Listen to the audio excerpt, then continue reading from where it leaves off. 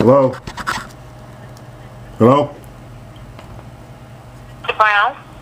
Oh, hello? Hi, I to Mr. Brown? Yeah, this is Ray Brown. Hi, this is Kimberly, Centinela Hospital 8 West. I'm the nurse taking care of your mother, Miss Juanita Brown. Oh, you're assigned to my mom? No, I'm the nurse taking care of her. You called me earlier, correct? Yeah, so did the hospital assign you to my mom's care? Yes, I'm the nurse today. Okay, thank you. Uh, um, so how is she? She's doing fine. There's been no change in her. She's, she's getting better. She's still confused. We're trying to do discharge planning for her. Where was it that you wanted she was going to end up going home? Was it back home or was it to a SNF, a nursing home? Is she well enough to come home? Um, her condition is probably about what it was when she came, other than her um, dehydration has been resolved, and her um, the kidneys are fine. So we're just trying to do discharge planning to find out where you wanted her placed. Okay, so that means yes?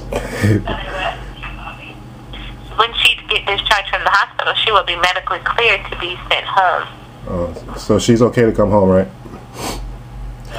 Yes, when she's discharged from the hospital, the doctor has given options to home or to, to a um, nursing home. Say that again? The doctor has gave the option home or to a nursing facility. So that's his suggestion, either to send her home or to a uh, nursing facility? Yes. Depending on who's there to take care of her. If someone's there to take care of her, she's able to come home. But if not, she needs to go to a skilled nursing facility. Uh-huh. Because he- did he- she's did very have- confused and she, you know, has the potential to harm herself. How so? In the back of the situation.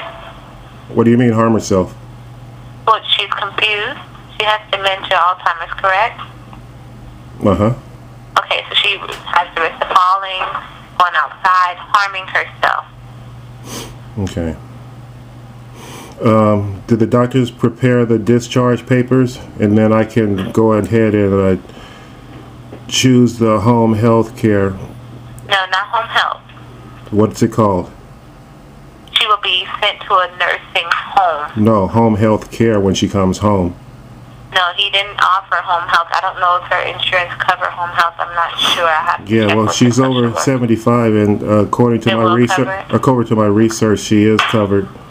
Okay, well, that wasn't, I don't know. Let me let you speak to the medical because she knows more about that. We're just trying to see where would you like her to go. Is Yeah. home? It's gonna be home. Uh, okay, if you assign the discharge order and the recommendation for home health care, which obviously that's the obvious thing to do, and uh, so you're not even involved as to whether or not her uh, health care coverage covers. No, I have nothing to do with Yeah, insurance at all. about yeah. So home health care is an option when she But gets that's home. okay. Right? I don't have to be, because that, they, that's why I'm just calling for the, to find out what is your plan as far as being her caretaker. Is she going to go home or is she going to go to a nursing facility? Okay, well, as soon as I can see her, I'll make that decision. So I need the doctor to call me because they're so to make an appointment so I can come see my mom. Okay, I'll have the um, medical social worker. Hold on one second.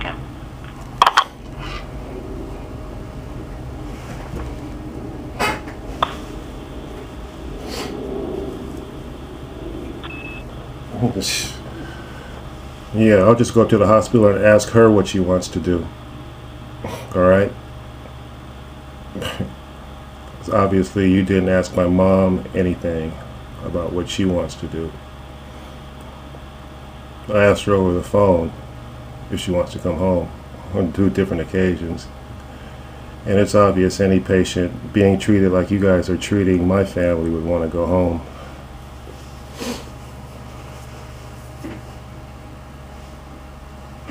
Mr. Brown? Uh huh. Hi, this is Annie, social worker. Um, just as the nurse had offered you, Miss uh, Brown is ready to be discharged in the next 24 hours. And so the sounds like the options are either to a skilled nursing facility or to home, as long as she has care, uh, 24-hour care. Mm-hmm. All right, you need to send uh, the uh, care information to uh, this address and let me go get it? If I'm mailing information, that's going to take some time, but she she will be medically cleared in the next day or two. Actually, tomorrow she'll be ready to go. Do you have a fax machine? Hello? Hello? Hello, can you hear me?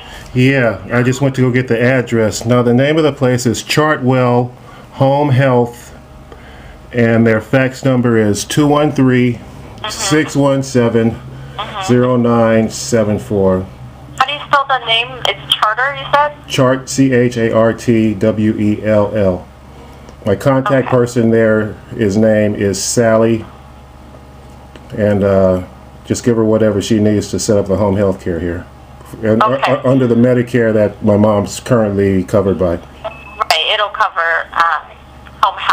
I know. Um, however, uh, so I, I, I'm aware that uh, home health will come out, you know, depending on the care. If it's a few times or um, uh, like a, an hour or two visits um, three times a week or so, you know, they'll they'll assess how much visits she'll need. However, uh, I will have to see if the doctor will order that, the home health order. Okay. Um, I also want. Do you foresee a problem with that? Come again? Do you foresee a problem with uh, arranging home health care for my mother? I need to get an order from the doctor so I can send this over to the to the agency. Oh, so you already Oh. know what they're going to ask you for. Come again? So you already know what they're going to ask you for because that's the same thing she told me. That's the same thing Sally told me. Uh huh.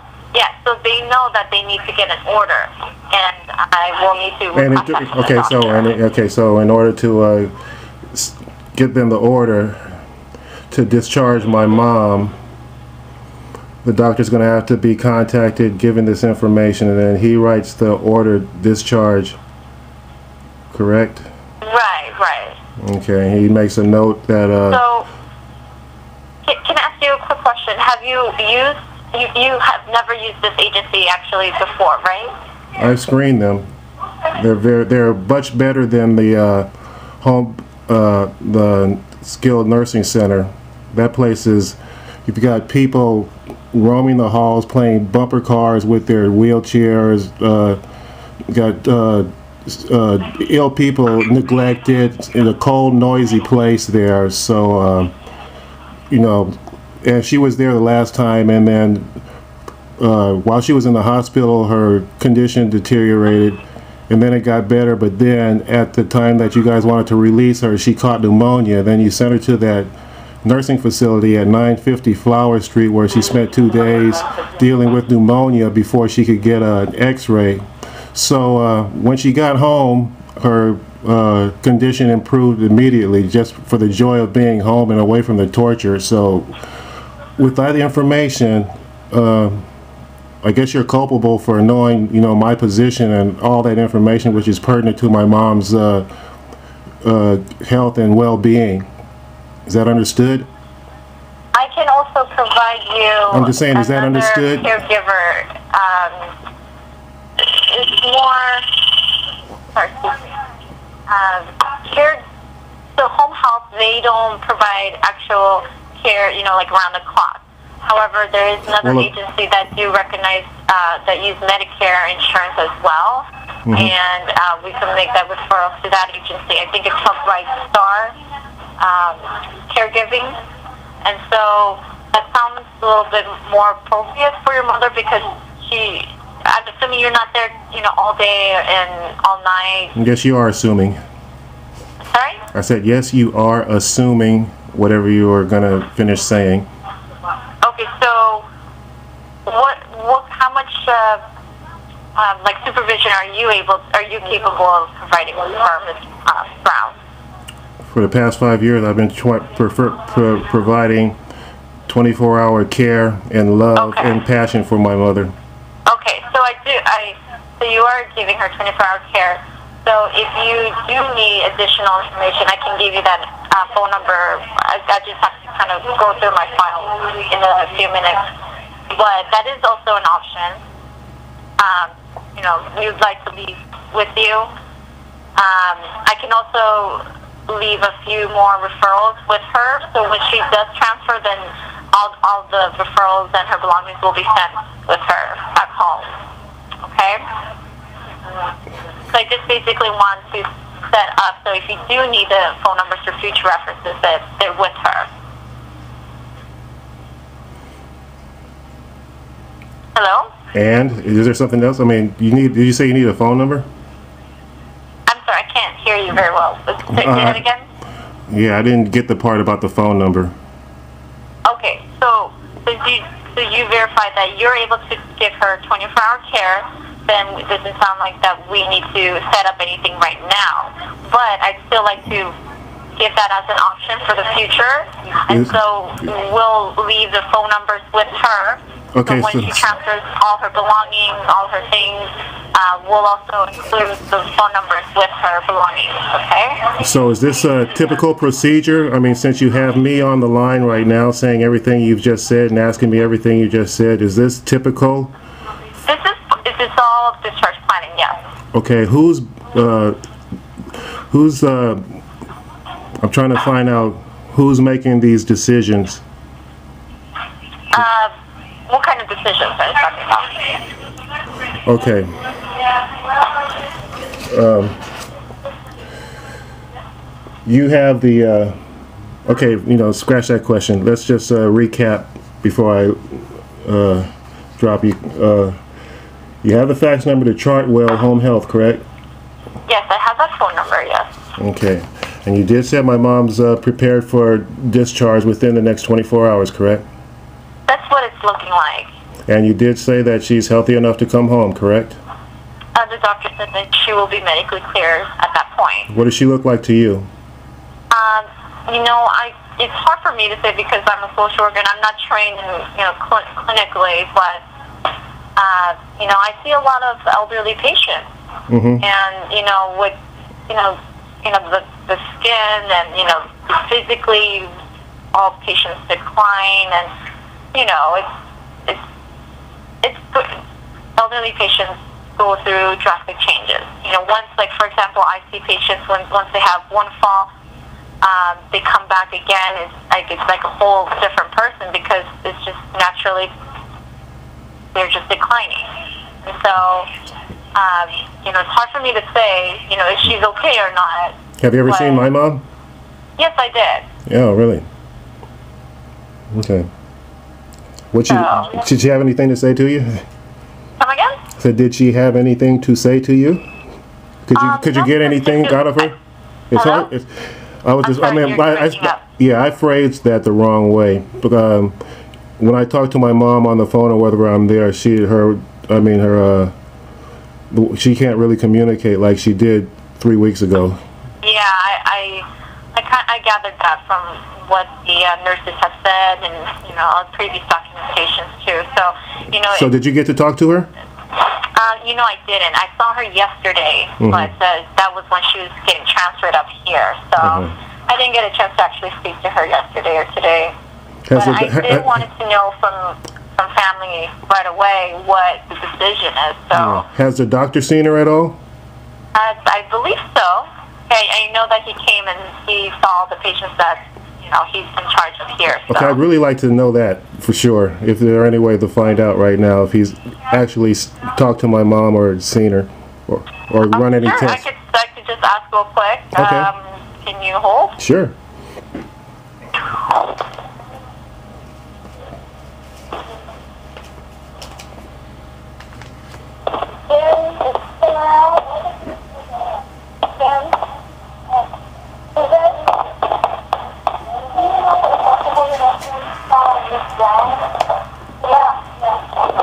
Yeah, he, he had seen her just a little while ago.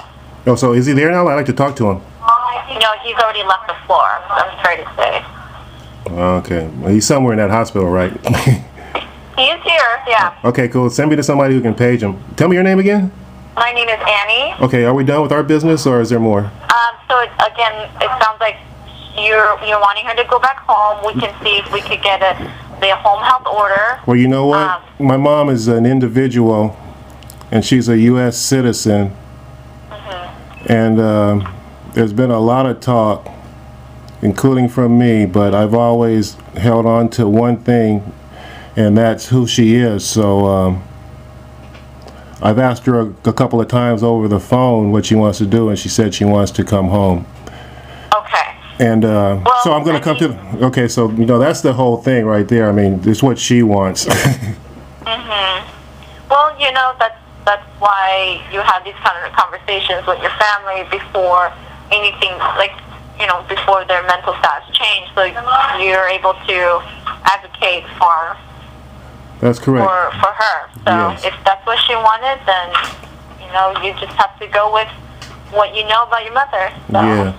There's one more thing I, I, I want to ask you. I know you might not know, but if you can get the doctor to call me, this is just the one specific thing. It's a, is a prognosis on my mom's health for the future. Now, what I'm not I'm not referring to anything immediate as far as her uh, medical prognosis. Um, I can give you what you, what can happen is um, what I'm saying is we that can give you his off his uh, phone number. Yeah. And then um, they'll have the doctor page. yeah, Okay? just okay, tell hang on one second. All right.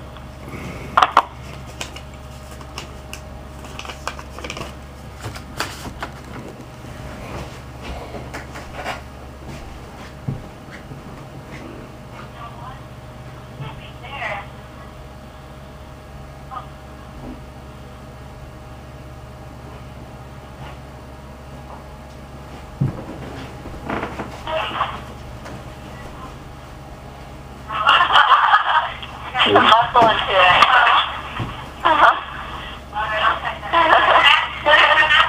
okay, sir. Yeah.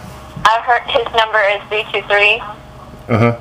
six four four. Seven thousand. No, six four four. Uh huh. 45, 55. And um, can I have your contact number? Because I know the nurse had called you, but I don't know what's the um, Okay, sure. It's uh, ready. direct phone number. Okay, this is our number 213 4000 15 5. So that's 4155. Okay, okay, great. All right, thank you, Miss, Mr. Brown. All right. And we'll, we'll inform you once um, we find out what, you know, whether home health has come, come through.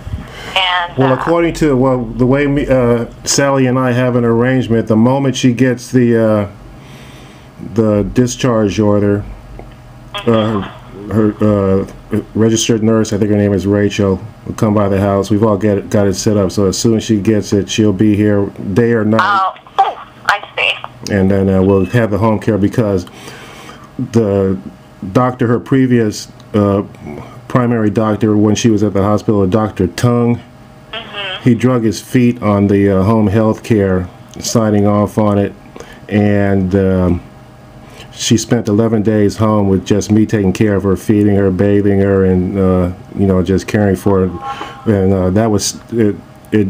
The medical part of it would have prevented her from being brought back to the hospital. You know what I'm saying? Not saying anything was wrong, but that since the home health care lapsed for 11 days, we had to bring her back to the hospital to get the home health care. You, you see what I'm saying? Well, you know, it's uh, sounds like you you're pretty stressed out about what's going on with your, mo- your mother's care and just her condition. So, Oh, yeah. you know, just as long as you, you know, you know, just stay in contact and, and keep the communication and uh, just be honest, then you know, let's we'll just work together with uh, you know with her care. Mhm. Okay, so you have the address and uh, you have my contact name. So um, I, I should hear the from the uh, from the doctor telling me that he, the order's prepared and that she has it, or I should hear from uh, Sally. Okay, Be so we'll, we'll we'll follow up with that. Okay, and good. we'll let you know. All right, Okay, thank you. thanks. Bye.